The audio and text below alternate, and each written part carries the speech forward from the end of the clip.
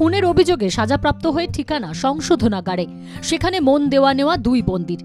প্রেমের শেষ এবার পরিণয়। চার হাত এক হলো দুই বন্দির। তার আগে অবশ্য দুজন দুজনের পরিবারকে রাজি করান। পরিবারের সম্মতি মিলতেই বসল বিয়ের আসর।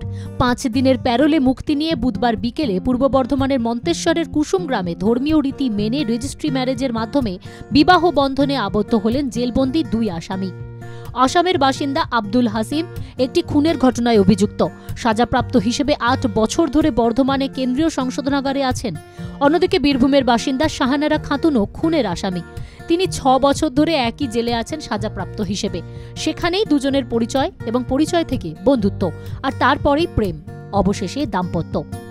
প্যারোলে মুক্তি নিয়ে একেবারে ছিমছামভাবে সেরে ফেললেন বিয়ে চার দেওয়ালের মধ্যে জীবনের অন্ধকার থাকলেও দাম্পত্য দিয়ে জীবনে আলো আনতে চান হাসিম ও শাহনারা।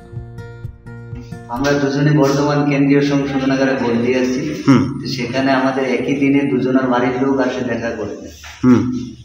দুজন কথা বলতে গিয়ে ওখানে আমাদের পরিচয় বা দুজনের বাড়ির লোকের সঙ্গে ওখান থেকে পরিচয় শুরু। তারপরে আমাদের আস্তে আস্তে কথাবার্তা হয়। এই করে আমাদের সম্পর্ক আজকে এত অবধি। আগামী ভবিষ্যৎ আমরা এটাই ভেবেছি যে বাইরে যাবার পর, যখন আমরা বাইরে যাব, তখন আরও পাঁচটা মানুষ যেমন মানে সব কিছু থেকে সংসার করে, তো সেই রকম আমরা ভাবছি বাইরে গিয়ে ঠিক আমরাও একইভাবে। মন্তেশ্বরের এক মানবাধিকার কর্মী শামসুদ্দিন শেখ এই যুগলের বিয়ের বিষয়টি নিয়ে দরবার করেছিলেন কারা মন্ত্রীর কাছে। সরকারি নিয়ম মেনে দেওয়া হয় সম্মতি। মানবাধিকার কর্মী শামসুদ্দিন শেখের উদ্যোগেই নতুন জীবনে প্রবেশ করলেন হাসিম ও শাহানারা।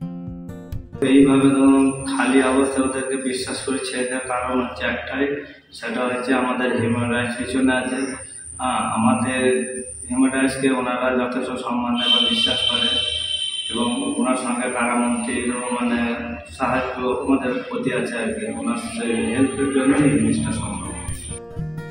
চার দেওয়ালের মধ্যে সাজা কাটাতে হচ্ছে। জীবন থেকে অন্ধকার সরে গিয়ে আলো আসুক। তাই নতুন জীবনে প্রবেশ করলেন এই নবদম্পতি। দুজনেই চান জীবনের খারাপ দিকগুলিকে ভুলে গিয়ে নতুন জীবন গড়তে। প্যারোলে ছুটি নিয়ে বিয়ে সেরে আবার ফিরতে হবে সংশোধনাগারেই। অপেক্ষা করতে হবে সাজা শেষের। পূর্ব বর্ধমান থেকে মনিরুল ইসলামের রিপোর্ট, বাংলা জাগো।